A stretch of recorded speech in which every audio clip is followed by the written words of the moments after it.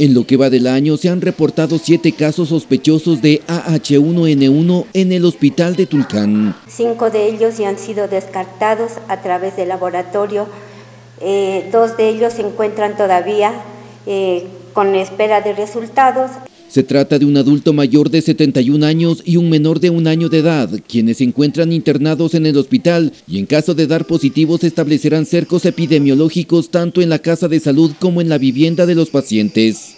Debemos estar mucho más atentos para evitar que se compliquen y se haga un diagnóstico oportuno. El número de pacientes con influenza aumenta considerablemente en los últimos días, saturando en muchas ocasiones la atención por emergencia hospitalaria. El porcentaje aumentaría en un 70% más que en otros meses. Con las nebulizaciones me están ayudando a disminuir la flema y con medicamentos.